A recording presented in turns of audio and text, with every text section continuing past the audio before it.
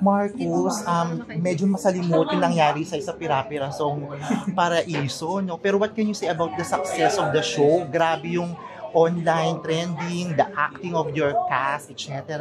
Of course, yeah. I mean, it was a given.